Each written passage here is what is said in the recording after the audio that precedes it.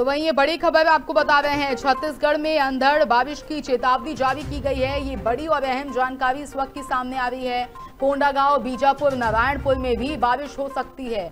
मौसम विभाग की ओर से बारिश को लेकर अलर्ट जारी किया गया है। उत्तर और मध्य छत्तीसगढ़ में तापमान बढ़ सकता है। ये बड़ी खबर सामने आ रही है। छत्तीसगढ़ के मौसम को लेकर छत्तीसगढ़ में अंधड़, बारिश की चेतावनी जारी की गई है।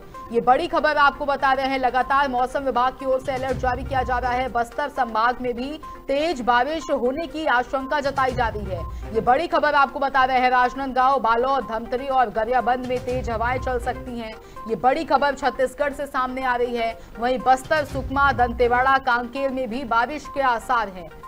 अहम जानकारी आपको बता रहे हैं, जहाँ पर कोंडागांव, बीजापुर, नारायणपुर में भी बारिश हो सकती है। इसको लेकर मौसम विभाग ने अलर्ट जारी किया है। ये बड़ी खबर सामने आ रही है। उत्तर और मध्य छत्तीसगढ़ में भी तापमान बढ़ने के आसार जताए गए हैं।